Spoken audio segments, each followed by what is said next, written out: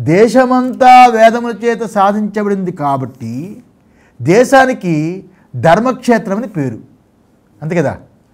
ధర్మము ప్రబలంగా ఉండేది కాబట్టి భారతీయులు రాజుల్ని క్షత్రి రాజుల్ని గౌరవించేవాళ్ళు. ఈ విషయం బ్రిటిష్ వాళ్ళకి బాగా తెలుసు. అందుకే వాళ్ళు స్థానిక రాజుల్ని వారి స్థానాల్లో ఉండడానికి ఇష్టపడేవాళ్ళు. వాళ్ళు ఉంటే ప్రజలందరూ కూడా చెప్పుడు చెప్పిన మాట వింటారని. ఈ క్షేత్రాన్ని ఏది? ఈ యొక్క ధర్మక్షేత్రాన్ని కురు అనే రాజు పరిపాలించాడు. కదా? కురే అనే రాజు సరస్వతి దృషద్వతి నదుల మధ్య నిర్మించాడు. ఆ కురు అనే పురం. కదా? ఇది ఆ రాజు దాన్ని పాలించాడు కాబట్టి కురు అని వచ్చింది. ఆ నిర్మాణం ఎక్కడ జరిగింది? ఆ ఆ యొక్క పురం అంటే సరస్వతి దృషద్వతి. ఇది ద్వాపరంలో గొప్ప పుణ్యక్షేత్రంగా అది వెలిసింది. ఇప్పటికీ రెండు నదులు ఉన్నాయి. కురుక్షేత్రం ఒకసారి వెళ్ళాలి. ఇది చదివితే వెళితే తెలుస్తుంది. ఇప్- ఇప్పుడు కూడా ద్వాపర యుగంలో ఇది గొప్ప క్షేత్రంగా ఉంది ఇప్పటికి కూడా. ఉంది కదా? అప్పుడైతే ఇంకా ఎక్కువగా. చంద్రవంశీయులు రాజధాని అయిన అస్థినావతి అస్థి అస్థినావతికి దానికి దూరమే దూరమేమీ లేదు. రెండు దగ్గ చాలా దగ్గర దగ్గర. ఏ? చంద్రవంశీయుల యొక్క రాజధాని అస్తినాపురం కదా? రెండిటికి చాలా దగ్గర. అయితే ఈనాటికి ఢిల్లీ ప్రాంతంలోనే నాటి హస్తినాపురం ఉందని ఇతిహాసములు రాసేవాళ్ళు కవులు వాళ్ళు చెబుతూ ఉంటారు. ఆ స్థలంలోనే కురుపాండవులు చక్రాధిపత్యం ఉందని కూడా చెప్తారు. ఇటీవల రాజపుత్రులు పఠానులు మొగలాయిలు రాజ్యాన్ని పాలించి కాలగర్భంలో కలిసిపోయారు. ఇటీవల బ్రిటిష్ వాళ్ళకి ఇదే రాజధానిగా ఉండేది. ఈ అస్థినాపురం అనేదే రాజధానిగా ఉండేది. ఆంగ్లేయులు మనకి స్వాతంత్రం ఇచ్చి వెళ్ళిన తర్వాత కూడా మనకి ఇదే రాజధానిగా ఇప్పటికీ ఉంది. ఢిల్లీ కదా? ఈ కురుక్షేత్రం అనేది వ్యక్తిగతంగా విచారిస్తే కురుక్షేత్రం అంటే కర్మక్షేత్రం అని అర్థం. కురుక్షేత్రం అంటే కర్మక్షేత్రం అని అర్థం. అంటే మన శరీరమే. కర్మక్షేత్రం కదా ఇది? జీవుడికి కర్మక్షేత్రం. జీవుడు కర్మ చేయాలంటే ఉపాధి ఉండాలి. ఈ శరీరమే కురుక్షేత్రం కర్మక్షేత్రం. ధర్మము లేక పుణ్యాన్ని లభించింది కాబట్టి ధర్మము లేక పు- ధర్మం అన్నా పుణ్యం ఒకటే ఒకటే. అధర్మము పాపము. ఏ? ధర్మం అనే పుణ్యం చేత లభించింది కాబట్టి ఈ కురుక్షేత్రానికి ధర్మక్షేత్రం అని పేరు. ఎంతో పుణ్యం ఎంతో పుణ్యం చేస్తే కానీ మానవ శరీరం రాదు. మానవ శరీరం వచ్చిందంటే పుణ్యం అనే ధర్మం చేతనే వచ్చింది. లేదా కుక్కగానో పిల్లిగానో ఎలకగానో పశువులుగాను లేకపోతే కదలని చెట్లుగానో పుట్టలుగానో పుట్టేది. ఇది ధర్మక్షేత్రం. అందులోకి ఈ కురుక్షేత్రానికి ధర్మక్షేత్రం అని పేరు వచ్చింది. ధర్మానికి ప్రతీక ఎవరు అంటే పాండవులు. అంతే కదా? ధర్మానికి ప్రతీక పాండవులు. ఆ అధర్మానికి ప్రతీక అయిన ధృతరాష్ట్రుడికి పుత్రులు. అధర్మానికి ప్రతీక ఎవరు? ధృతరాష్ట్రుని పుత్రులు. ధర్మానికి ప్రతీక ఎవరు? పాండవులు. అనేవి రెండు ఉన్నాయి. రెండు ఉన్నాయి. ధృతరాష్ట్రుడు అంధుడు. అంతే కదా? ధృతరాష్ట్రుడు అంధుడు. గుడ్డి గుడ్డివాడు. అంతేకాదు ధర్మము అధర్మము అపేక్షయందు అతని బుద్ధి కూడా అందమే. సొంత దమ్ముడు బిడ్డల్నే వాడు వ్యతిరేకిస్తున్నాడు. మా వాళ్ళు ఎలాగున్నారని విడదీసి అడుగుతున్నాడు.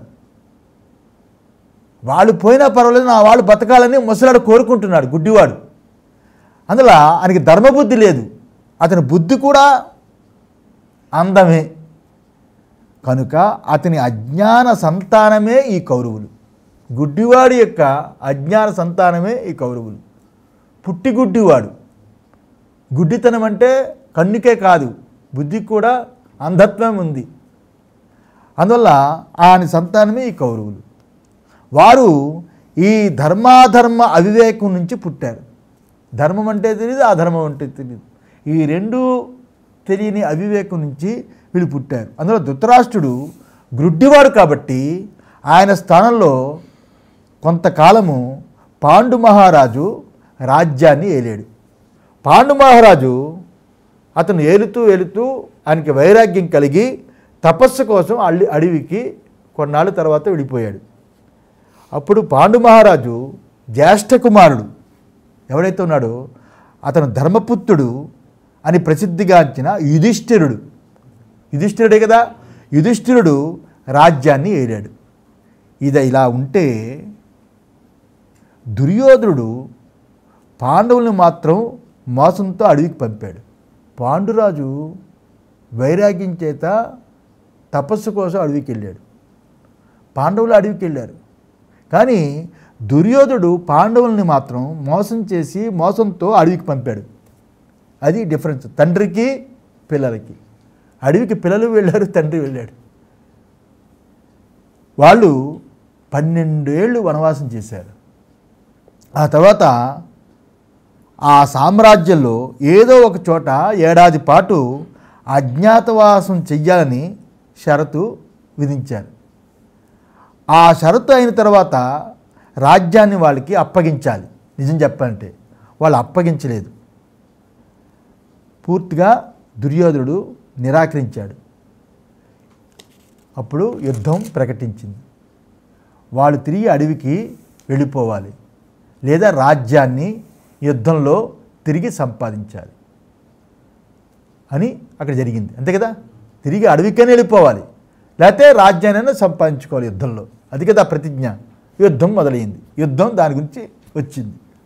అయితే ఈ కుదిరే ఈ రాజీ ప్రస్థానం ఏదైతే ఉందో ఎన్ని ఎన్ని ఎన్ని రకాలుగా దాన్ని బాగా కుంచింపజేసి తక్కువ చేసి చెప్దామనుకున్నా దుర్యోధుడు ఒక చదరపు అంగుళం కూడా భూమిని ఇయ్యడానికి ఇష్టపడలేదు. మాకు అక్కర్లేదు. ఐదు ఊర్లు ఇస్తే చాలు. ఎందుకు యుద్ధాలు? యుద్ధాలు వద్దు ఏమి వద్దు. మాకు ఐదు ఊర్లు ఇస్తే చాలు.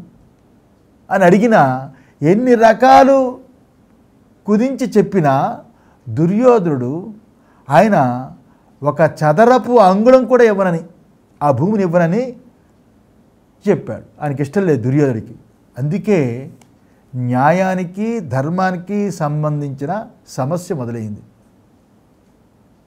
ధర్మం వేరు న్యాయం వేరు. ధర్మదేవతకి కళ్ళు గద్దలు కడ గుడ్డలు కడతారు కదా. న్యాయం అంటే చట్టం. చట్టం వేరు ధర్మం వేరు. చట్టం ఏం చెప్తుంది? డాక్యుమెంట్స్ కావాలంటుంది. అక్కడ ఇద్దరు కొట్టుకుని చస్తున్నా కళ్ళకి గంతలు ఉన్నాయి. డాక్యుమెంట్స్. చట్టం వేరు ధర్మం వేరు. అలా న్యాయానికి ధర్మానికి సంబంధించిన సమస్య వచ్చింది. ధృతరాష్ట్రుడి యొక్క బలహీనత ఏమిటి? ఇలా జరిగినప్పుడు ధృతరాష్ట్రుడు ఏం చేస్తున్నాడు? దుర్యోధుడు అంతలాగా ఘోరంగా ఐదు ఊర్లు కూడా వంద మంది కౌరవులతో కూడుకుని వాడు రాజ్యం అంతా మింగి ఏకఛత్రాధిపత్యం వహిస్తూ ఐదూళ్ళు ఇవ్వడానికి కూడా ఇష్టపడని స్థితిలో దుర్యోధుడు దిగజారి ఉంటే ధృతరాష్ట్రుడి యొక్క బలహీనత ఏమిటి? తండ్రి చెప్పాలి కదా. మొదటి శ్లోకానికి పదాల్ని ఇక్కడ పరిశీలిద్దాం. కురువంశపు రాజులు పాలించిన ప్రదేశము యొక్క పేరు కురుక్షేత్రము. వారు వంశం యొక్క పెద్దలైన కురువు యొక్క పేరే ఆ ప్రదేశానికి వచ్చింది. ధర్మక్షేత్రం అంటే పూర్తి దేశం. యుద్ధము చేయడానికి ఒక ప్రదేశంలో సమకూరిన వారే యుయుత్సువులు. యూత్సువులు అంటే యుద్ధము చేయడానికి కోరిక కలవాళ్ళని మనం చెప్పుకున్నాం. ఈ శ్లోకంలోని మామకాహ పాండవాహ అని ఉంది అనే రెండు పదాలు అర్థము నర్మగర్భమైనవి. ఏంటంటే పాండు మహారాజుల యొక్క కుమారులు ఈ ధృతరాష్ట్రకి అపరిచితుల అపరిచితులు కారు కదా వాళ్ళు ఈ ధృతరాష్ట్రుడికి? కానీ ఆయన వారిని ఈ సందర్భంలో తన వారిలో చేర్చకుండా చెప్పాడు. మామకాహ పాండవాహ అని చెప్పాడు. తన వాళ్ళతో చేర్చకుండా చెప్పాడు. పాండు మహారాజు స్వయాన అతన తమ్ముడు సోదరుడు. పాండవులు ఆ ధృతరాష్ట్రుడి యొక్క సొంత సోదరుని కొడుకులు. ధృతరాష్ట్రుడి కుటుంబంలో ఆ కుటుంబంలో ధృతరాష్ట్రుడు పెద్దవాడు. అంతే కదా? తమ్ముడు కొడుకులు వీళ్ళు. పాండు మహారాజు యొక్క కొడుకుల్ని కూడా పాండు మహారాజు యొక్క కొడుకులు కూడా తన కొడుకుల వలె ప్రేమించాలి కదా సహజంగా. ఎక్కడైనా అంతే కదా? ఐదుగురే కొడుకులు. వంద మంది కొడుకులు ప్రేమిస్తున్నావు ఐదుగురు కొడుకుల తమ్ముడు కొడుకులు. అంతే కదరా? ప్రేమించాలి. అయినా కూడా నా వారికి పాండవులకి మధ్య ఏం జరిగింది అని ప్రశ్నించాడు. ఎంత దుర్మార్గుడు చూడండి. అంటే వాళ్ళు శత్రువుల కింద. వాడు భావం చేసి నా వాళ్ళకి పాండవులకి ఏం జరిగింది అని ప్రశ్నిస్తూ ఆయన మామకాహ పాండవాహ అనే పదాల్ని ప్రయోగించి ధృతరాష్ట్రుని యొక్క కుటిల బుద్ధి అంధబుద్ధి చూపించాడు. తన పక్షాన ధర్మం లేదని ధృతరాష్ట్రుడికి పూర్తిగా తెలుసు. తన కుమారులు ధర్మ మార్గానికి అనునాయులు కారు ధర్మ మార్గాన్ని అనుసరిస్తున్న వాళ్ళు కాదని కూడా ఆయనకి బాగా తెలుసు. అయినా కూడా యుద్ధాన్ని ఆపడానికి ప్రయత్నం చేయలేదు. ఏమాత్రం కూడా యుద్ధాన్ని ఆపాలి అని అనుకోలేదు.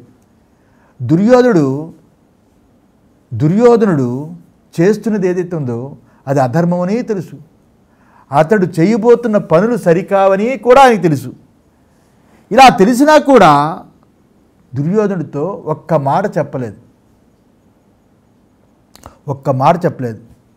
ఆయన అలా చెప్పి ఉంటే దుర్యోధనుడు కి ఆ దుర్యోధనుడి యొక్క ప్రయత్నం తండ్రి ఆదేశానికి విరుద్ధం అయిపోతుంది కాబట్టి భీష్మద్రోణులు అతని యొక్క పక్షాన్ని చేరి ఉండేవాడు కాదు. భీష్ముడు ఎందుకు చేరాడు? అంత దుర్మార్గుడు దుష్టుడు దుర్యోధనుడు పక్క ఎందుకు చేరాడు? పూర్వకాలంలో ఎవరైనా మహారాజు యొక్క మాటకి కట్టుబట్టి ఉండాల్సిందే. ధృతరాష్ట్రుడు చెప్పాలి కొడుక్కి నువ్వు చేస్తుంది తప్పు అని. తప్పు అని చెప్పి ఉంటే మహారాజు చెప్పాడు కాబట్టి దుర్యోధన ఆగాల్సి వచ్చేది. ఒకవేళ ఆగకపోయినా ఈ భీష్ముడు ద్రోణులు వాళ్ళు దుర్యోధనతో చేతులు కలుపుకుండా ఉండేవాళ్ళు. మహారాజు యొక్క ఆజ్ఞ అయిపోయింది. మహారాజు యొక్క ఆజ్ఞలో ఉన్న వాళ్ళు వీళ్ళందరూ కూడా ఆయన పాటించాలి. ధర్మం అది. ధర్మానికి కట్టుబడి భీష్ముడు ద్రోణులు ఉన్నారు. లేకపోతే వారితో ఎందుకు చేతులు కలుపుతారు? ధర్మం కోసం. ఆ పాండవుల మీద అసూయ చేత యుద్ధానికి దాని పరిమాణాలకి ఆయనే బాధ్యుడై ఈ రకంగా ధృతరాష్ట్రుడు నిర్ణయం తీసుకున్నాడు. ఇది ధృతరాష్ట్రుడి యొక్క స్వరూపం. అందుకే ధృతరాష్ట్రుడు ధర్మక్షేత్రమైన కురుక్షేత్రం యందు యుద్ధం చెయ్యుకో చెయ్యగోరిన వాళ్ళైన దుర్యోధనాదులు పాండవులు ఏం చేశారు అని అడిగాడు. ఈ ప్రశ్నకి భావం ఏమిటంటే ధర్మక్షేత్రమైన కురుక్షేత్రంలో కౌరవసేన పాండవసేనలు యుద్ధానికి చేరాయి. కౌరవసేన పాండవసేన అది ధర్మక్షేత్రం ఇవ్వడం చేత అక్కడ ధర్మానికి జయం కలిగే సూచనయే ఉంది కానీ అధర్మానికి జయం కలగదు అని అర్థం. కురుక్షేత్రంలో ప్రవేశించిన నా కుమారులు ఇక ఇకనైనా అధర్మానికి విజయం కలగదనే మంచి బుద్ధి కలిగి పాండవులతో సంధి చేసుకున్నారా? లేదా వాసనా ప్రాబల్యం చేత వారి పట్టుదల సాధించేందుకు ఇంకా యుద్ధం చెయ్యాలి చెయ్యాలని సిద్ధమయ్యారా? యుద్ధం ప్రారంభించినప్పుడైనా ధర్మము శౌర్యము సమతాబుద్ధి కలిగిన ఆ భీష్మాచార్యులు మొదటి వాళ్ళని ముందు పెట్టుకున్నారా? లేక మనకి హితులు అనే కారణం చేత కన్నుడు శకునుడు కన్నుడు సొక్కుని. ఇలాంటి వాళ్ళని వాళ్ళ యొక్క నీతిని వీళ్ళు అనుసరిస్తున్నారా? పాండవులు అప్పుడు ఏం చేశారు? నా కుమారులైన వారిపై మనవాళ్ళే అనే కనికరమైన ఔదార్యమైన వాళ్ళు చూపించారా? ఇది ధృతరాష్ట్రుడి యొక్క ప్రశ్న.